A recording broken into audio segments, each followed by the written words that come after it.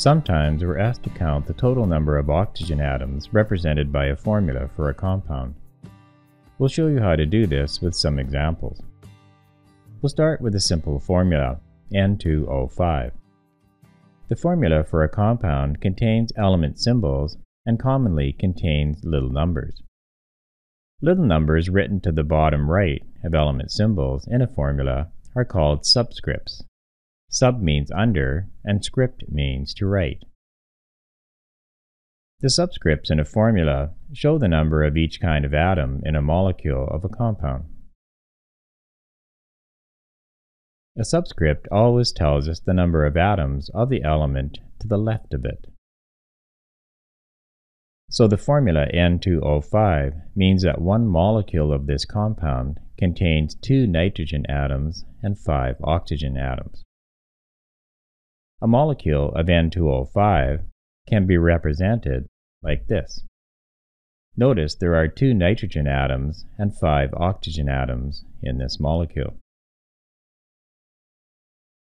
Here is the formula for a compound that contains brackets. We're asked to count the number of oxygen atoms in this formula.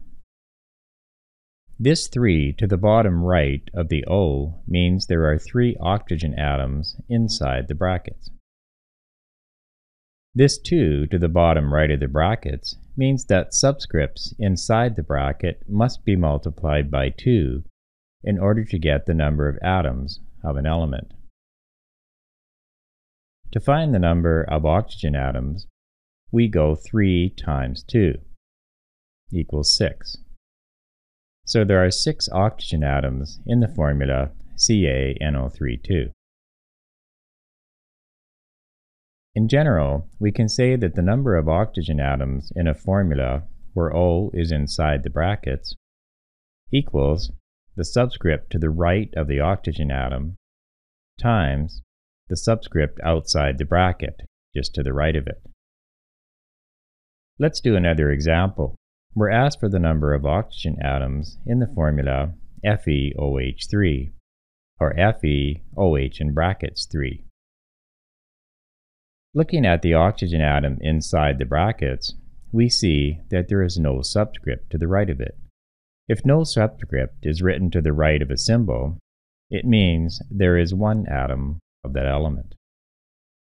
So we know there is one atom of oxygen inside the brackets.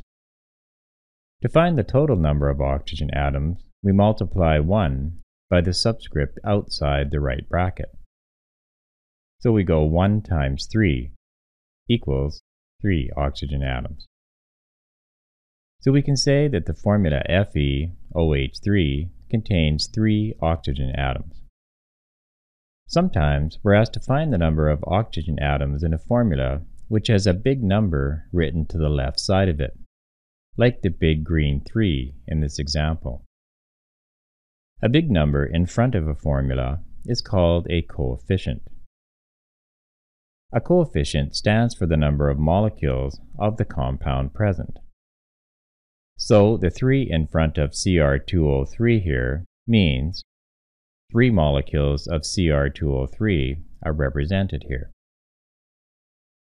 Let's focus on the molecule on top. The subscript 3 on the oxygen tells us that this molecule contains three oxygen atoms. Now we'll focus on the molecule in the center. We can see that this molecule also has three oxygen atoms. And the molecule on the bottom also has three oxygen atoms.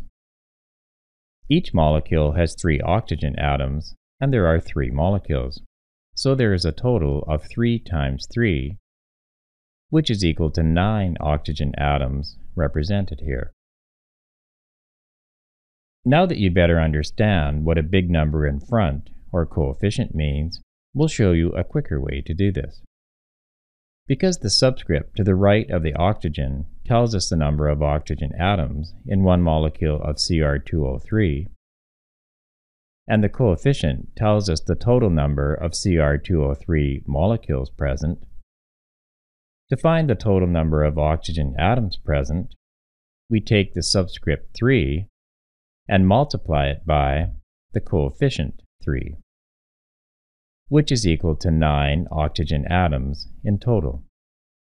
Let's do one more example of this type.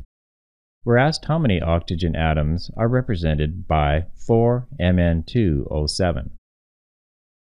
We take the subscript 7 and multiply it by the coefficient 4. 7 times 4 equals 28, so 28 oxygen atoms are represented here. Now we'll do an example with both brackets and a coefficient in front. We're asked how many oxygen atoms are represented here. In this type of problem, we always start with the subscript to the right of the oxygen atom. In this case, it is a 3. The first thing we do is multiply this number by the subscript outside the right bracket. In this case, it's a 2. So it's 3 times 2, which is equal to 6. This means there are 6 oxygen atoms in one molecule of ZnNO32. The last step is to multiply this 6 by the coefficient in front of the formula. In this case, it's a 3. So we go 6 times 3 equals 18. So there is a total of 18 oxygen atoms represented here. To review, for formulas with both brackets and a coefficient, we start with the subscript on the oxygen and the first thing we do is multiply it by the subscript just outside the right bracket. And lastly, we take the resulting number and multiply it by the coefficient in front of the formula. This will give us the total number of oxygen atoms. Remember, in this type of problem, it is important that we always multiply by the subscript outside the right bracket first. And lastly, multiply the answer we got for this by the coefficient in front.